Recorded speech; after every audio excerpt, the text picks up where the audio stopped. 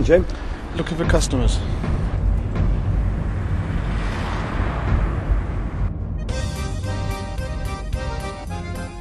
The Collectors Centre in Walthamstow was once a mecca for dealers and punters alike.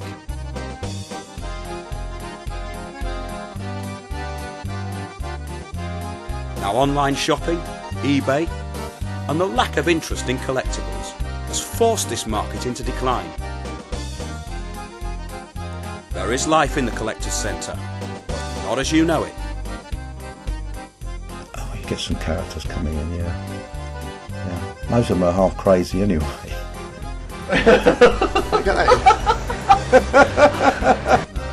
Don't get it, do you? This is sacred music. Stop. I have been a collector since I was three. What did you collect when you were three years old? Records. George Formby. Duran Duran, uh, there was things like Dead or Alive, weren't there, and there, all that sort of thing. So when everyone was listening to that, what were you listening to? I was listening to Billy Cotton doing I've Got a Lovely Bunch of Coconuts. Um, in terms of in terms of this world and this life, I'm the gaffer. It is an addiction. I call it my neurosis, but it's also very therapeutic because uh, when you go around looking for things, you're walking, and I say, well, that's my exercise as well. It's better than having a shrink. What was that? Oh, tune. Uh, the truth is going to come out eventually, and um, um, all I can say is I hope they look after me. You don't kick them out, you listen to them, and you can't judge a book by a cover, as they say. This is the Wood Street Market. Welcome to Ghost Town.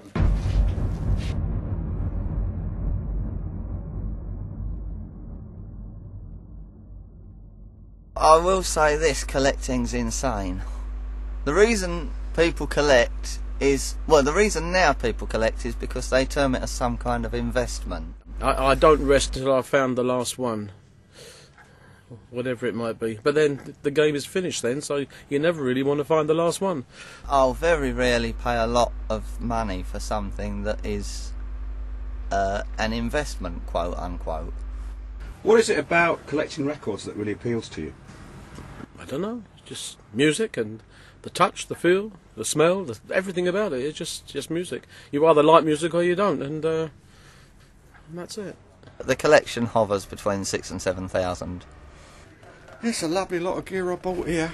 The Collectors Centre may be a bit quiet these days, but newcomers Jake and Simon have just opened Village Vinyl and are bringing some new energy to the market.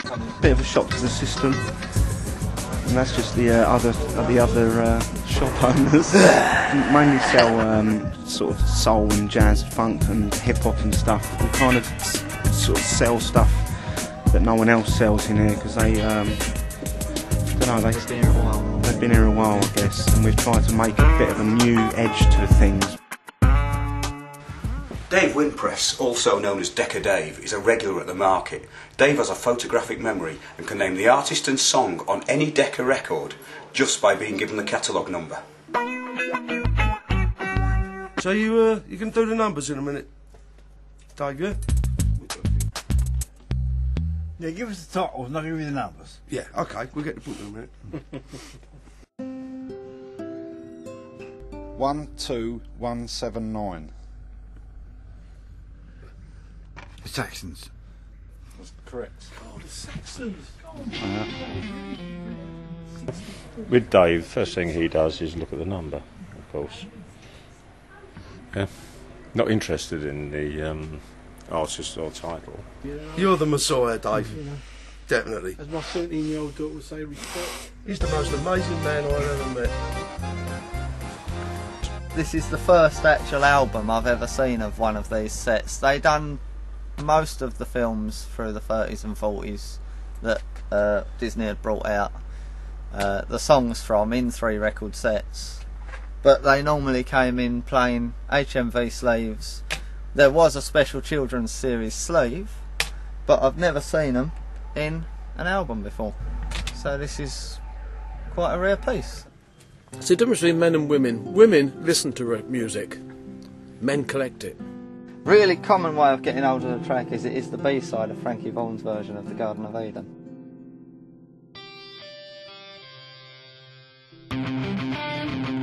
I'm a collector and I have things for about a week, and then I've got to sell them because I've got no money.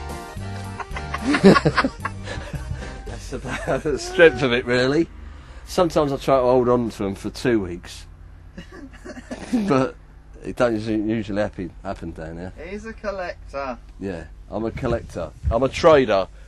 I'm a trader with nothing to sell and no money to buy anything with. Phil Goodman is a craftsman and collector and has been in the market for 14 years and has seen a steady decline in trade. I used to get people, dealers coming in, even if they didn't buy anything, used to come and have a chat, stay for half an hour, have a cup of tea. But that's uh, that's finished now. Doesn't happen. They're all on the eBay, and it's very impersonal and um, doesn't appeal to me. Yeah. And also, when a person brings in something to repair, it gives me uh, a bit of satisfaction knowing that I put something right, which was, wasn't working or didn't look good. You know, there's a satisfaction in that. records, valves, transformers, paintings, statues of cats, tyres. What else do I collect? Pens, I used to collect pens as a personal thing, and I decided to deal in them as well. Vintage fountain pens, I repair them, buy them, sell them. And the same with lighters, I used to collect old cigarette lighters. Well, it's hard being a collector and a dealer at the same time. Down this market, you're never too far away from a Melvin sleeve. And uh, Melvin's a wonderful chap who comes in, he takes all our old battered sleeves and he repairs them for us. Bought some maps off of Alan next door. 1888. Whole map of London. A book on Samuel Pepys, what I bought. Samuel Pepys, is it? And I'm reading that and I'm going everywhere where Samuel Pepys went 250 years ago, but I'm doing it now. Here we have a, a 1940s Regal sleeve, which is painstakingly put an edge back on for us. Uh, this is another Melvin sleeve. He's uh, obviously found a plain 78 sleeve somewhere and crossed it with a paper bag. Alan, or Captain Vinyl, is another veteran trader at the market and is an avid collector himself. I'll always be a collector. I just hope I won't always be a dealer. As I said earlier, I've got most of what I personally want. Um, last year I probably only bought from a new record shop um, less than half a dozen records. The point about this shop is it's badly run due to the fact that I'm too much of a collector. Any any really good stuff that comes in this shop goes home. Sweet Mary. 12015. Yes, that's exactly right. 12015. Unbelievable, Dave, I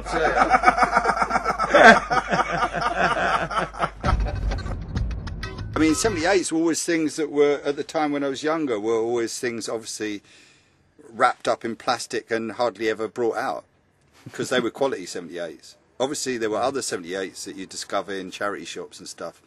Occasionally, really good ones, but most of them not really the sort of thing I want to listen to, and also really like bro- half broken or whatever.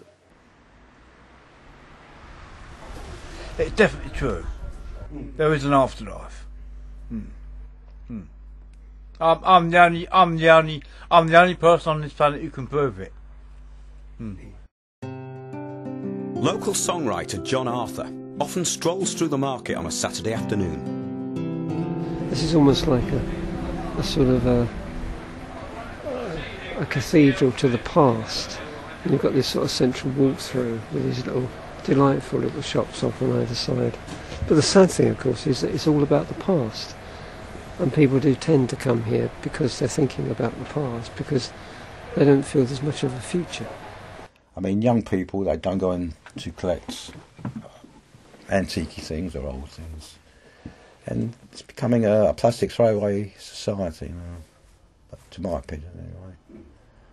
We've got you know all our old school hip hop that we used to love when we grew up and stuff. And, but from that, we learned about all the other music like jazz and soul and funk and what, whatever. So a lot of people our age come in and sort of share those stories and bring their old records in and talk about it. So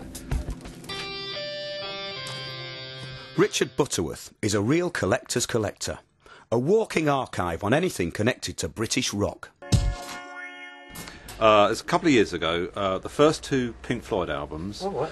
vinyl, original releases, Yeah. perfect condition, mono. Now, just out of interest, you as a guy who knows the trade, what would you reckon they'd be worth? Well, just better than, I I would say, a, a one, isn't it? First album, mono. 150, yeah. I ended up getting 250 apiece. you know, as as vinyl disappears in terms of like new releases and stuff like, or it gets harder to sort of be able to do that in terms of being on a label or something like that. This stuff becomes even more important because it's all it's all about what came and what what made music what it is now. I found one. It's called uh, by a band called Caravan. Hmm. How are you with them? You all right with them? Not bad, yeah. Now they did a single in 1970, and it was titled called "If I Could Do Her Again, I'd Do It All Over You," which is quite famous. I think we all know it. Mm. Over to you. was confident. 13063. Spot on. It's, it's a, an heavy it's a mental label. la- it's a mental label, isn't It is it? a mental label. It's, Men- it's heavy. It's mental, isn't it? Heavy. It's and all. mental, isn't it? Yeah, it is. mental. Yeah, Mm. that's why I got rid of them. Mental. So why you got rid of them? Yeah, it's mental.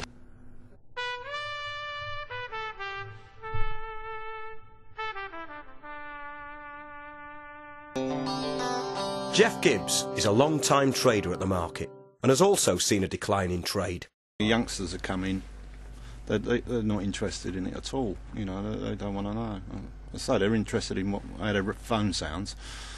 It's got a good ringtone on it or something. Well, Wood Street used to be a good market was, but now it's like a ghost town. It's only no one here. But who cares about money when you've got Decca Dave? Uh, it's Good News Week. Hedge, up, Hedge Hoppers Anonymous. One double two four one. Yeah, that's correct. Spot on. It's mind blowing. These are not common bands. No.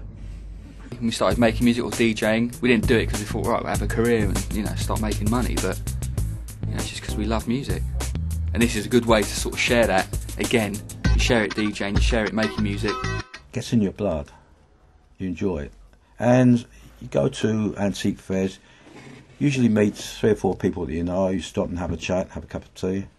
And um, there's a social side to it as well. I'm a Yankee Doodle Dandy. I'm a Yankee Doodle Dandy. Party dances with Sydney Thompson, including the classic I Came, I Saw, I Congoed.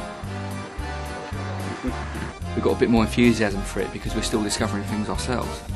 So you know, that's that's the joy of it, just sharing that with other people. Jim has recently retired, but can't keep away from the market. I wouldn't be sitting here now if I didn't like it. I wouldn't. I don't have to be here, so I would. I would. I'd do it for pleasure. Here we are at Sunnywood Street reporting. As you can see, it's another busy day in the market. Oh, so sorry, there was a ghost. he got buried under a pile of records in Tony and Jim's.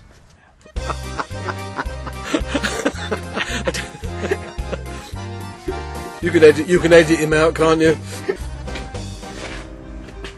Better come and gather. I, I gather from the revelation that my, my, my, the root of my family is in the tribe of Judah. Hence Hey Jude by the Beatles. Hey, what band? I'm here for the wrestling match, mate. Solid.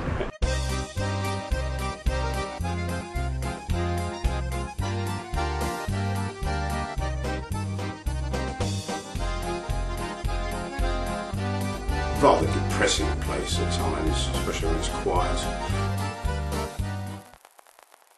I think the first thing about this place is it, it's a good laugh down here because of the other people.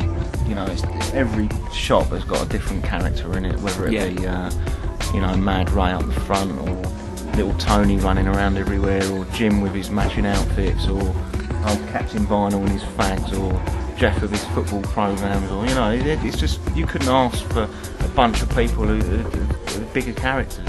Hi, this is Decca Dave and I'm back. Still trying to promote the New World religion through my discovery of the beast.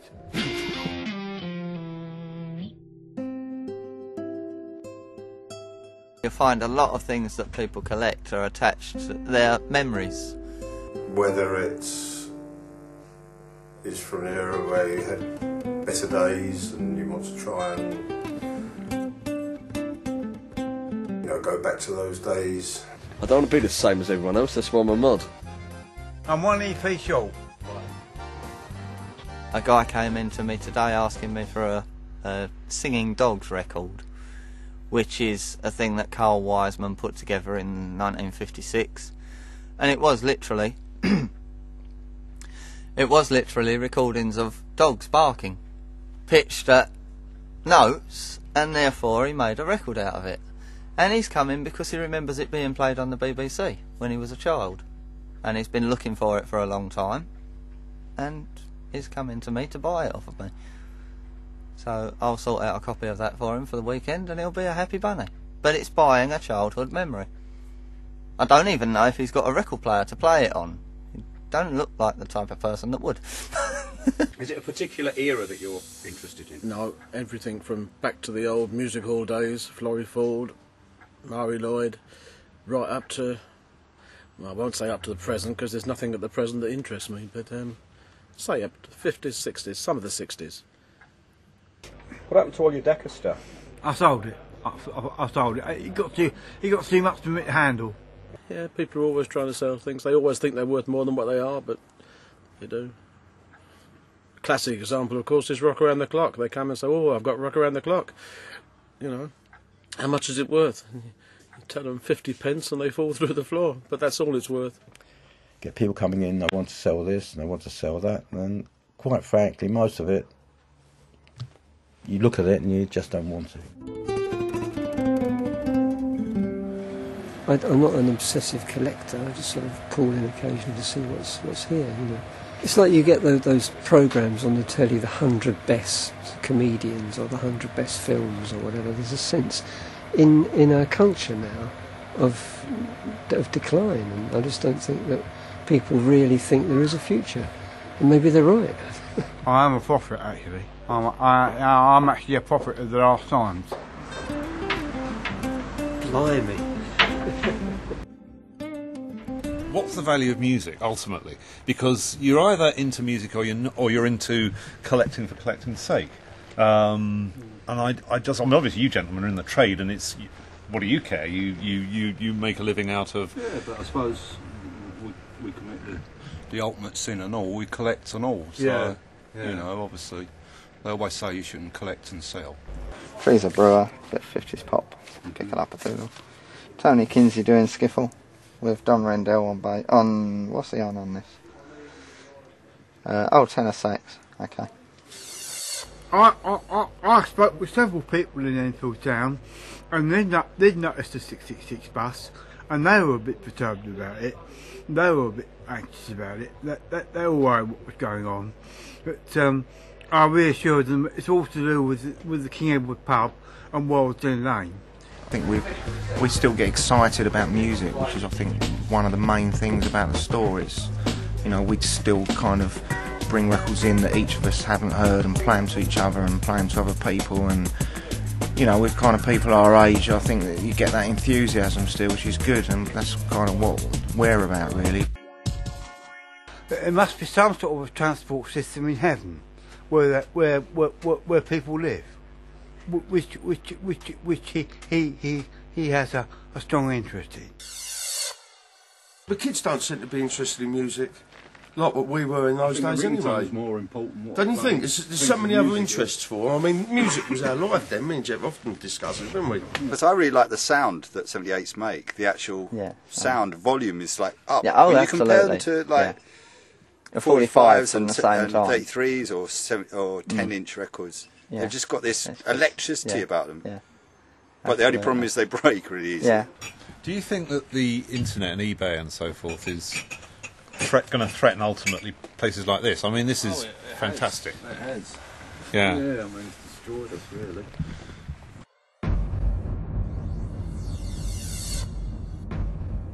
In fact, there's probably more space given over in the average HMV today to um, video games and um, DVDs Yeah. than there is to. I mean, they've shredded the music department in some of these places. It's incredible, isn't it? Um, and it's getting harder and harder for obvious reasons.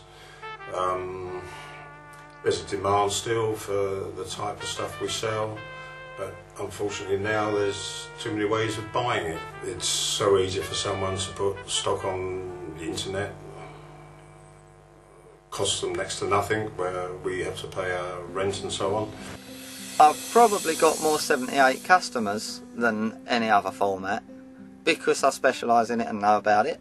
But there are still people out there that want to want to buy them, want to collect them, are collecting them. Is there a bus 666, Dave? What was the one that used to go to Enfield while everyone's miserable? That was 66. Oh, 66, yeah, the, the stock number, yeah. Yeah, the bus. that's the, it. The registration number. 66, that's right. 66, You yeah. that all, yeah. It's an unfortunate situation here. Um, we've probably got the least passing trade of anywhere in London. I mean, the outside street alone, there's many, many small shops that have closed down because they can't compete with the um, bigger stores. And uh, it's a shame because the, little man is uh, having to call it a day, pack it in, retire, or get a job. I think anybody who comes in here now has really, really got to spend money on advertising. You know, there's there's people live around the corner here. You know, they don't know we're here.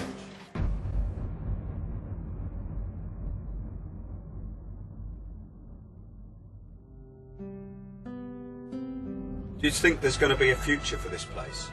Uh, not really. I don't think so. No future. Might go on for a few years, but when you, when you think hey, what, used to, what it used to be here and what it is now is um, very different. Are you going to stay here then? No. You're not? No. You're moving out? Yeah. When? Next time, next time you come down with the camera, you'll be able to film another empty unit. 30 odd 78s there for my collection.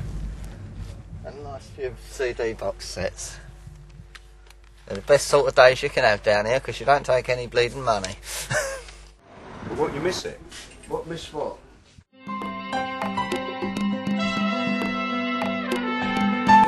It's a proper ghost town, not like it used to be. Did you know about the, the pool on the hill? Hmm. It was written about you, wasn't it? I don't know how they found out. What about you? Yeah. But who was it, John or Paul? They found out about you to write Fall on the Hill. Then. Paul. Oh, it's Paul. Mm. The bills, Esmeralda, the bills. Don't be fighting frightened, Esmeralda. Yeah, I'd like, I'd, like, I'd like to meet you and talk about old times and uh, and and the relevance of my life to, to the end of the world and all the rest of it, you know. You're telling Mr. Christian, I'll come back and see. What, what's my? I'll come back and see you at your Portsmouth. This is the Moody Blues. Now it's called Steal Your Heart Away. That's right. Uh, it's an A side, yeah. Yep, definitely an, an A side. It's a Decca, 1964. Steal Your Heart Away. Steal your heart, lose your money. Steal your heart Double away, one lose- nine seven one. Yeah.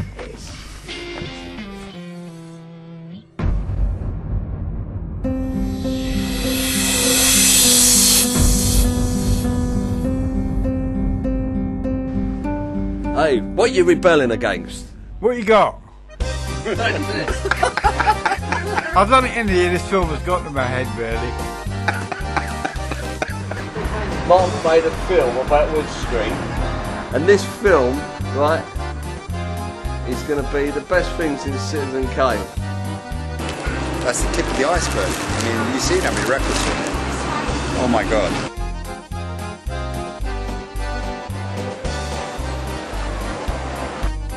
Mr.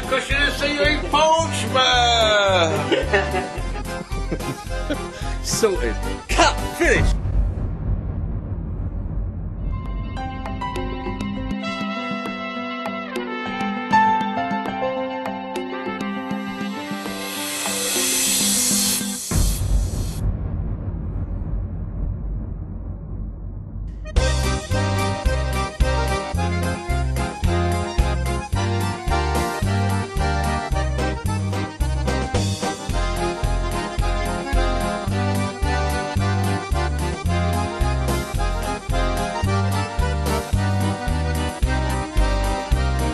Think people don't go to indoor markets anymore? There- There's, there's life in it yet for us, for sure.